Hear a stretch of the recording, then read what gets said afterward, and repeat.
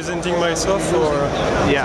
yeah okay. Yeah. Okay. So tell us who you are, though. Hi, I'm Pierre and I'm uh, engineer at arKaos and I will now present you our new Video Mapper software, presenting the new Video Mapper extension we've created for uh, MediaMaster and GrandVJ. Yeah. Uh, this is a really straightforward tool to do projection mapping, video mapping. What you have on the left is your displays. Here we have two projectors. And on those displays you will create surfaces uh, that can be triangle and rectangle surfaces that, can, that you can uh, warp and uh, rotate and place whatever, wherever you want. And this is important too. We actually get different projectors, so you, you don't have to Yeah. remember where these surfaces are. Yeah. We have names for the projectors, and the different outputs Yes. are right there. Yeah, and you can rename your surfaces as well if you want to remember uh, where you are. Right. And we're seeing this in in your media server software. Yes, exactly. But That's it's the coming second point. to the uh, it's coming to Grand VJ, which is yes, the, also. the version of your software that a lot of our readers will know. And if you go to MediaMaster, indeed, you have this new list in this panel that shows all the surfaces we've been creating and presets as well that you can create by doing that. And that enable you to say that my layer, the layer I've selected, can go to a certain surface that you select or to a group of surface that you've created in Media Master.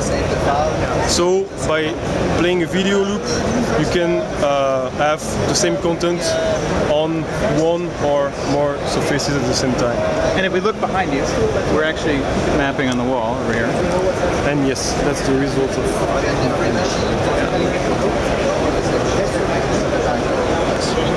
And it's so easy to use, you can drink beer while you're demoing it.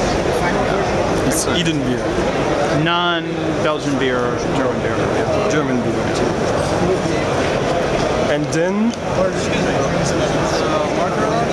uh, the other is in the middle. Yeah, can wait for a few minutes. So here we are, we're seeing the surfaces as they're previewed in the software. Now this isn't a separate application, that's important to mention too. Yeah. So um, for now, it's so it's a separate tool that has live preview. Here you can see that you have live preview from MediaMaster on Windows. That's the equivalent Syphon for Windows that we've developed. Um, but the idea is uh, in the final release, you will have the output totally integrated into MediaMaster, meaning that you can you will be able to close the, the Mapper software, and MediaMaster will take care of the projection. Right, of course. So Yeah. we will have only one uh, software running, and not two that will consume more resources. Right, so both on Windows and Mac, and, Yes, and the same both with on Windows. Mac. You'll be able to open up GrandVJ and say, Yes. I want this video loop to go on this particular It's we did surface. with the similar panel as the one shown you. So you'll, you'll, you'll see something like this output, and you'll just be able to choose the surfaces here, kind of generic names. Exactly. But you'll be able to create choose. presets. Right, you, you'll be able to kind of create presets and create preset groups, Yes. and be able to, you know, pull up a video loop or a texture, a generative something, Yeah. and um, just have it show up on a surface or a group of surfaces. A group Right. So a lot of the kind of manual uh, administration that we've been doing with textures and mapping goes away, and and um, and it's not just for this is not just for projection mapping onto 3D surfaces, right? We were talking about it can be a way to manage multiple projectors and a way to manage LED walls and different surfaces Exactly. on LED walls, Exactly. all these other situations. because we had solutions for uh, uh, ArtNet-based LEDs and uh, with KlingNet we've created, but there were no solution uh, for uh, DVI-based LEDs. So now you can use this software to run uh, DVI-based LED also. And I think it's important to mention also that in the mapper you said that we don't have uh, this sampling stuff to take care about anymore. But if you like we have this advanced panel that uh, give you the possibility to crop a part of a visual to go on a certain surface. Right, and I'm seeing a quad right now, but you can also use masks.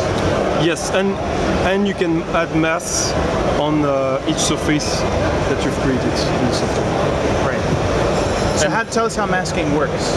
When we go in and Yeah. add a mask. Yeah, um, this is a prototype, and here's the mask. So you pull up an image to use as a mask, Yeah, so let's say I will use that.